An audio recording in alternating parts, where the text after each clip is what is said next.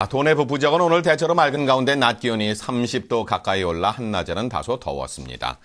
지역별 낮 최고 기온은 의성이 30.3도까지 올랐고 안동이 29.2도, 상주 28.5도, 영주 27.2도로 어제보다 6, 7도 정도 올랐습니다. 내일은 대체로 맑겠고 낮 기온은 24도에서 28도로 오늘보다는 조금 낮겠습니다.